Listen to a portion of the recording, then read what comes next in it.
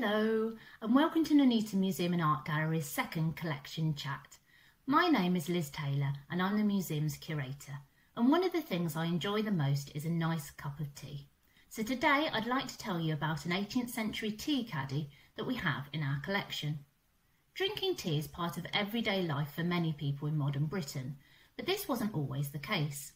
Tea is native to China and was brought to Europe by Dutch and Portuguese merchants at the beginning of the 17th century.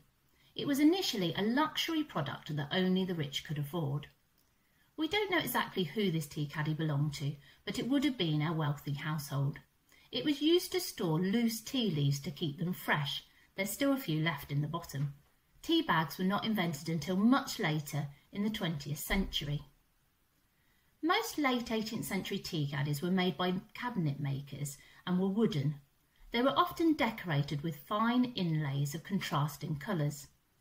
This particular box has floral inlays on the side and on the lid and striped inlaid edging. During this period, tea caddies were made in single, double and triple sizes. This one is a double. It has two interior compartments with two removable lids. These would have each stored a different variety of tea. Triple caddies often had space for a glass bowl as well, which would have been used to blend different teas to create a different flavour or to store sugar. Demand for sugar rose as the popularity of tea, along with coffee and chocolate, increased. Europe imported sugar from the Americas. Sugar plantations used the labour of enslaved people, many abducted in Africa, to harvest and process the sugar cane. You might have noticed that this box has a keyhole. I definitely don't have a lock on my tea tin today.